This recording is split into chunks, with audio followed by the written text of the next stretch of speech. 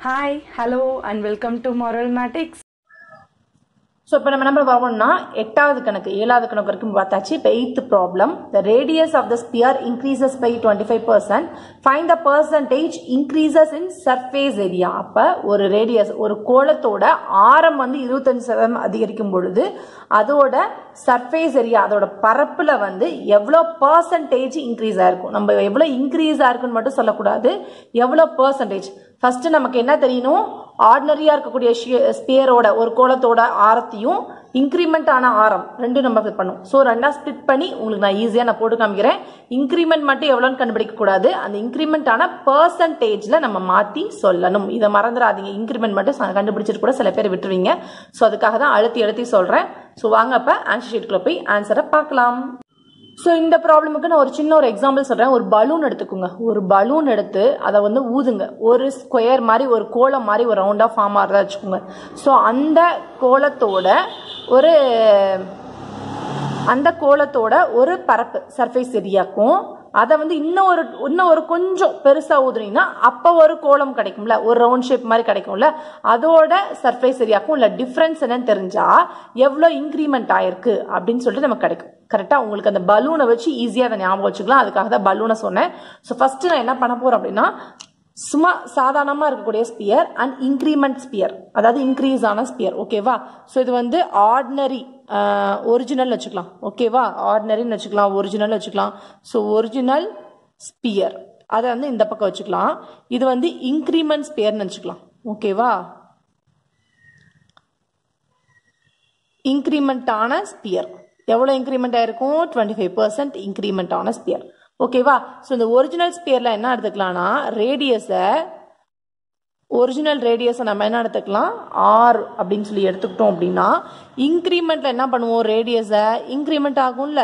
So அப்போ இது என்னவா மாறும் அப்படின்னா ஆர் ப்ளஸ் எவ்வளோ இன்க்ரிமெண்ட் ஆகுது? டுவெண்ட்டி ஃபைவ் பர்சன்ட் அப்படிங்கும்போது டிவைடட் பை ஹண்ட்ரட் கரெக்டா ஸோ இவ்வளோ ஆர் இன்க்ரீஸ் ஆகுது. அப்போ ஆரை மட்டும் எடுத்தோம்னா ஒன் ப்ளஸ் இதை ரெண்டு ஸ்ட்ரைக் அவுட் பண்ணால் ஃபோர்னு வரும். ஒன் பை ஃபோர் அப்போ இதை எல்சிஎம் எடுத்தோம்னா என்ன வரும்? ஃபோர் இந்த இடத்துல ஃபோர் ப்ளஸ் ஒன்னு வரும் அப்போ என்ன வரும் நமக்கு?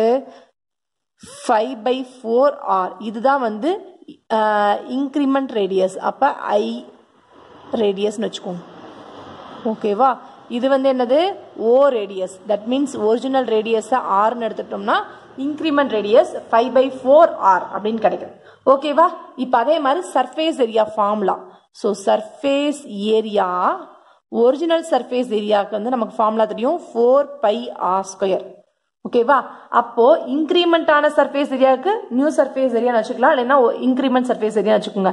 அப்போ இன்க்ரிமெண்ட் ஆன சர்ஃபேஸ் ஏரியா என்ன ஆகுது அப்படின்னா ஃபோர் பை ஆர் ஸ்கொயர் அப்படிங்கும்போது நமக்கு என்ன கிடைக்கும்? இந்த இடத்துல ஆர் மட்டும் மாற்றணும் அப்போ twenty two divide by pi அப்படியே வச்சுக்கலாம். பையும் வச்சுட்டு ஏன் நம்ம வந்து தலைவலியோடு இருக்கணும்? நம்ம பையை அப்படியே வச்சுக்கலாம். அப்போ ஃபோர் பை ஆரை மட்டும் ஸ்கொயர் பண்ணோம்னா five by four r square வந்துடும் அப்போ என்ன வரும்? Four pi twenty five divide by four into four கரெக்டாக ஆர் ஸ்கொயர் ஒரு ஃபோர் ஒரு ஃபோர் கேன்சல் ஆச்சுன்னா இன்க்ரிமெண்ட்டான சர்ஃபேஸ் ஏரியா அதாவது என்ன என்ன சொல்கிறது உயர்த்தப்பட்ட இருபத்தஞ்சு சதம் உயர்த்தப்பட்ட அதோட பரப்பு. அப்போ என்ன வரும்? Twenty five pi r square divide by four அப்படின்னு கிடைக்கும். இந்த ஃபோர் இந்த ஃபோர் கேன்சல் அப்படி கிடைக்கும். இப்போ புரிஞ்சுதா? ஒரிஜினல் ஸ்பியருக்கும் இன்க்ரிமெண்டான ஸ்பியருக்கும் ஒரு ரேடியஸ் கண்டுபிடிச்சிருக்கோம் ஒரு சர்ஃபேஸ் ஏரியா ஒரு ரேடியஸ் கண்டுபிடிச்சிருக்கோம் அடுத்தது சர்ஃபேஸ் ஏரியா ஓகே மேம் இப்போ நம்ம என்ன மேம் கண்டுபிடிக்கணும் அப்படின்னா பர்சன்டேஜ் தான் கண்டுபிடிக்கணும். அப்போ எவ்வளோ இன்க்ரீஸ் ஆயிருக்கு அப்படிங்கிற விஷயத்த கண்டுபிடிக்கணும். அப்போ நமக்கு எதுக்கு கேட்டிருக்காங்க?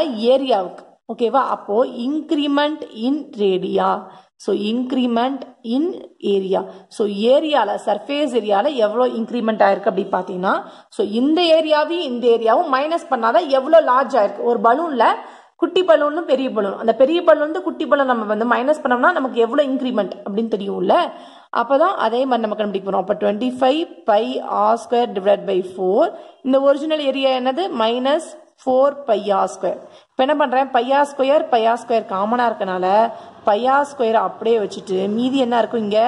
Twenty five divide by four minus இங்கே என்ன இருக்கும்? ஃபோர் மட்டும் இருக்கும். கரெக்டாக இப்போ பையா ஸ்கொயருக்கு நம்ம இப்போ ஓ அப்படியே வச்சுக்கலாம். வச்சுட்டு ஆர் ஸ்கொயருக்கு வேல்யூவும் அப்படியே வச்சுக்கலாம். இன்டூ இங்கே நம்ம பண்ணும்போது நமக்கு என்ன கிடைக்கும்? ஃபோர் இங்கே டுவெண்ட்டி ஃபைவ் ஃபோர் ஃபோர்ஸாக சிக்ஸ்டீன் வரும். அப்போ நமக்கு என்னன்னு கிடைக்கும்? பை ஆர் ஸ்கொயர் இந்த இடத்துல நமக்கு என்னன்னு கிடைக்கும்? நைன் வருமா? அப்போ நைன் பை ஃபோர் அப்போ இன்க்ரிமெண்ட் நமக்கு எவ்வளோ கிடச்சிருக்கு அப்படின்னு பார்த்தீங்கன்னா nine by r square divided by four அப்படின்னு சொல்லிட்டு இவ்வளோ இன்க்ரிமெண்ட் கிடச்சிருக்கு. எப்படி வந்து சம்பளம் போட்டாங்க அப்படின்னா இவ்வளோ இன்க்ரிமெண்ட் இவ்வளோ அமௌண்ட் இவ்வளோ பர்சன்ட் போட்டிருக்காங்கன்னு சொல்லுவாங்க. அதில் இவ்வளோ அமௌண்ட் இருக்கு. கரெக்டா ஸோ அதுதான். ஸோ இவ்வளோ அமௌண்ட் கிடைச்சிச்சு. அதை பர்சன்டேஜுக்கு மாற்ற போகிறோம் சம்பளத்தை வச்சு நான் சொல்லும் போது இப்படி மாறும். இப்போ பலூனில் பார்த்தோம்னா இவ்வளோ இன்க்ரீஸ் ஆயிருக்கு அதை பர்சன்டேஜுக்கு மாற்றும் போது so percentage of increased surface area இடம் நான் ஷார்ட்டாக எழுதுறேன். பார்த்துக்கோங்க. ஸோ அப்போ என்ன பண்ணுவோம்? ஸோ என்ன பண்ணுவோம்? ஒரிஜினல் சர்ஃபேஸ் ஏரியா மேலே இன்க்ரிமெண்ட் சர்ஃபேஸ் ஏரியா புரிஞ்சிச்சா? நான் என்ன சொன்னது? அப்போ என்ன வரும்னா ஒரிஜினல் சர்ஃபேஸ் ஏரியாவையும் இன்க்ரிமெண்ட் சர்ஃபேஸ் ஏரியாவும் நம்ம டிவைட் பண்ணும்போது நமக்கு எவ்வளோ கிடைக்கும்? பர்சன்டேஜ் எப்படி பர்சன்டேஜ் இன்டூ ஹண்ட்ரட் போட்டால் பர்சன்டேஜில் கிடைக்கும். அப்போது என்ன வரும்? இந்த ஃபோர் கீழே வந்துருமா? தெளிவாக எழுதிக்கலாமா? Four Bhaiya square divide by இந்த ஃபோர் கீழே வந்துருச்சு. ஆல்ரெடி இருக்கக்கூடிய ஃபோர் பையா ஸ்கொயர் இன்டூ ஹண்ட்ரட் இப்படி நமக்கு கிடைக்கும் பட்சத்தில் நம்ம என்ன பண்ணுறோம் பையா ஸ்கொயர் பையா ஸ்கொயர் கேன்சல் பண்ணிவிட்டு அடுத்தது ஃபோர் ஃபோர் இதெல்லாம் வரும்பொழுது நம்ம என்ன பண்ணிடலாம்? இதையும் ஸ்டெக் அவுட் பண்ணி போகலாம் அப்போ இது எத்தனை டைம்ஸ் டுவெண்ட்டி ஃபைவ் டைம்ஸ் அப்போ என்ன வரும்? நைன் இன்ட்டு டுவெண்ட்டி ஃபைவ் அப்படின்னு சொல்லி பார்த்தோம் அப்படின்னா என்ன கிடைக்கும்? Two twenty five divide by four so ஃபோரால் divide பண்ணால் என்ன வரும்? ஃபோர் ஃபைவ்ஸா டுவெண்ட்டி ரிமைனிங் டூ மறுபடியும் டுவெண்ட்டி ஃபைவ் இருக்குது அப்போ என்ன வரும்? ஃபோர் சிக்ஸா டுவெண்ட்டி ஃபோர் அப்போ ரிமைனிங் ஒன் அப்போது ஃபோர் டூ ஜார் எயிட் அடுத்தது four five jar twenty so நமக்கு எவ்வளோ கிடைக்குது? பர்சன்டேஜ் கடைசியாக increment fifty six point two five percentage கிடைக்குது ஓகேவா ஸோ இதுக்கு என்ன நம்ம கண்டுபிடிச்சிருக்கோம்? சாதாரணமாக இருக்கக்கூடிய குட்டி ஒரு பலூன் இவ்வளோ வச்சுக்கிறோம். அதோட கொஞ்சம் பெருசாக ஒரு பலூன் ஊதி வச்சிட்டோம்னா இந்த பலூனோட ஆரம் என்ன? இந்த பலூனோட ஆரம் என்ன? அடுத்தது இந்த பலூனோட பரப்பு என்ன இந்த பலூனோட பரப்பு ஸோ இந்த பலூனோட பரப்பு பெருசாக இருக்கும் பட்சத்தில் இதுலேருந்து இதை மைனஸ் பண்ணும் பொழுது நமக்கு எவ்வளோ வந்து பெருசாக இருக்கு அப்படிங்கிற விஷயம் தெரிஞ்சதுக்கப்புறம் அதை வந்து என்ன பண்ணுறோம் நூறால் மல்டிப்ளை பண்ணி அதோட சதவீதத்தை கண்டுபிடிக்கிறோம். ஸோ நூற்றுக்கு எவ்வளோ அப்படிங்கிற சதவீதத்தை கண்டுபிடிக்கிறதுக்காக தான் இந்த ஸ்டெப் ஸோ இந்த ஸ்டெப்பு தான் ஆன்சர் நீங்கள் என்னதான் இங்கே பண்ணாலும் இந்த ஸ்டெப்பு தான் ஆன்சர் இதை மறக்காமல் இதை போட்டுருங்க. அவ்வளோதான் இதோட உங்களுக்கு செவன் பாயிண்ட் ஒன் எக்ஸைஸில் இருக்கக்கூடிய எட்டாவது ப்ராப்ளம் முடிஞ்சிச்சு ஸோ இப்போ நம்ம என்ன பண்ண போகிறோம்னா ஏழு புள்ளி ஒன்றில் இருக்கக்கூடிய ஒன்பதாவது கணக்கு பார்க்க போகிறோம் so ninth problem the internal and external diameters of the hollow hemispherical vessel are twenty centimetre and twenty eight centimetre find the cost to paint the vessel all over at rupees zero point one four per centimetre square ஓகேவா இப்போ இல்லை என்ன கொஷின்னா ஒரு பாத்திரம் எடுத்துக்கோங்க. ஒரு வடை சட்டி எடுத்துக்கோங்க. சிம்பிளாக சொல்ல போனால் அதுதான் விஷயம். ஒரு வடை சட்டியில்